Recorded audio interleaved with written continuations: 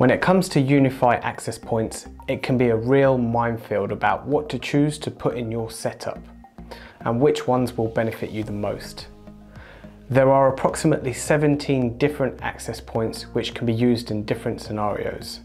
So I've created this video to break down the different access points and hopefully give you a better understanding of which ones to pick. Before we get started, all the links to the access points that we discussed today are in the description below.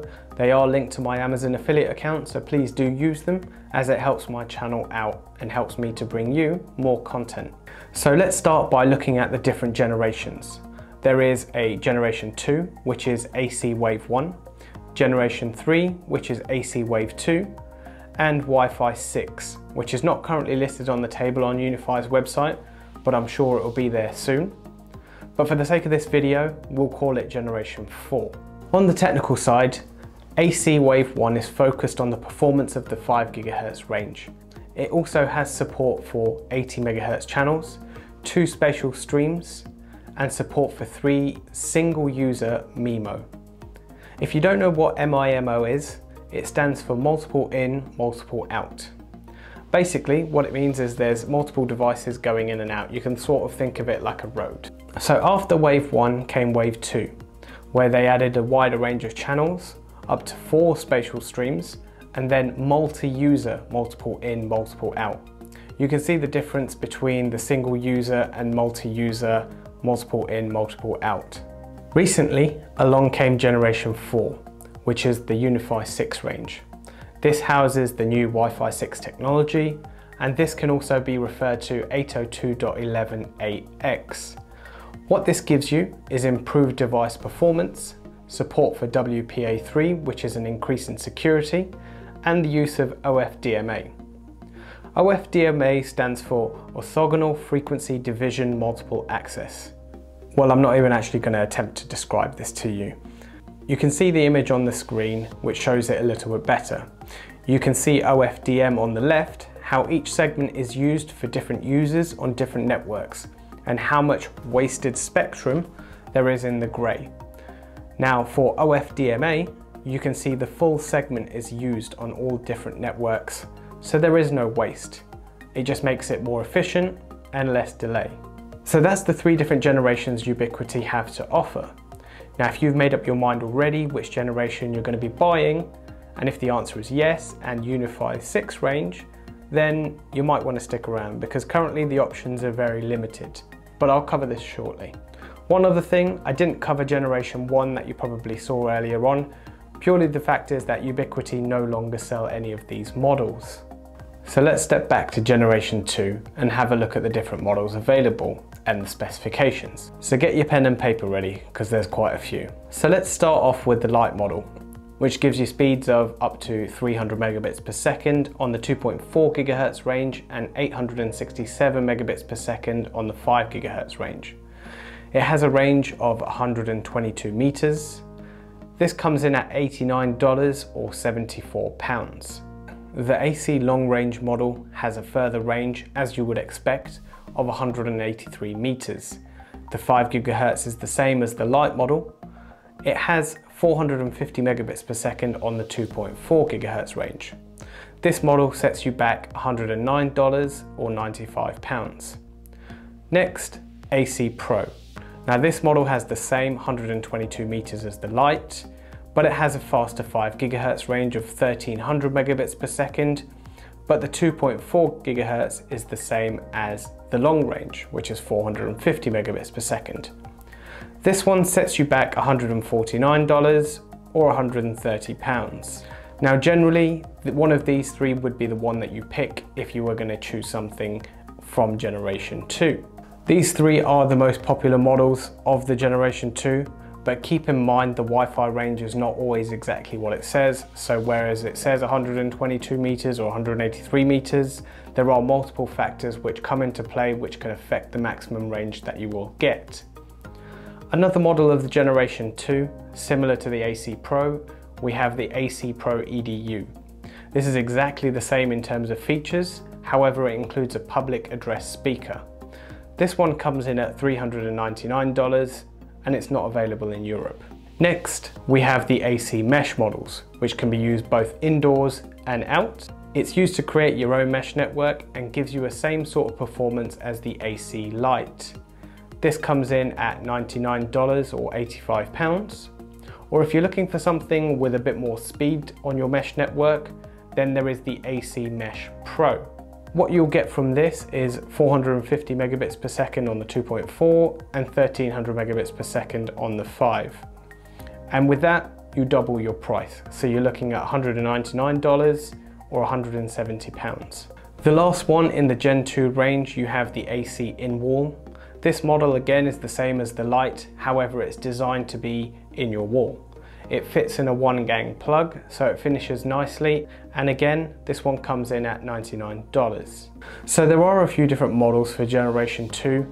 Likely with this range, you'll be looking at something like the AC Lite, the AC Long Range, or the AC Pro.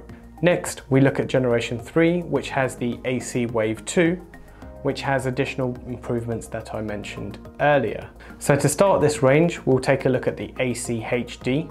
So this has a 4x4 MIMO on both the 2.4 and the 5 GHz range. These give you speeds of up to 800 megabits per second and 1733 megabits per second respectively. This model will cost you $349 or 308 pounds.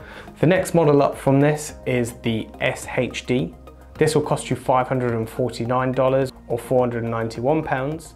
The additional $200 gets you a dedicated security radio with persistent threat monitoring. So this is a very security based access point. Now continuing with the high-end range, you have the UAP XG and the UWB XG. These two models both come with 10 gigabit ethernet support and the UWB XG model is designed for large venues. So you're looking at arenas, stadiums, concerts, that sort of thing. Keep in mind, these are complete overkill for any house or small business and the price definitely reflects that. The UAP XG comes in at $799 or £715 and the UWB XG comes in at $1,499 or £1,356. Now the most popular in this range would most probably be the Nano HD. This gives you the same speed as the others, which is the 5 GHz 1733 megabits per second. However, on the 2.4 there is only a 2x2 MIMO, so the speed drops down to 300 megabits per second. The Nano HD will set you back $179 or 160 pounds. Along with the Nano HD there is an in-wall model which comes in at the same price. This is currently only available in North America. However, this includes 4 gigabit ports with it. There is also a Flex HD model, which is not designed for your wall or ceiling mounts, but it's more designed for something like a tabletop or a pole, which is also the same price. The final one in the Generation 3 model is the Beacon HD. Now this doesn't require a physical connection to the back of the unit. You can plug this straight into your wall socket and it will act as a mesh device. So it connects to an existing access point on your network. The performance, however, will vary depending on the signal strength. However, it does claim you can get over 300 megabits per second on this access point. So looking at back at generation 3, you're likely to be looking at one of the following. You'll be looking at the Nano HD, the in-wall HD or the Flex HD. Last but not least, we look at UniFi 6, aka generation 4.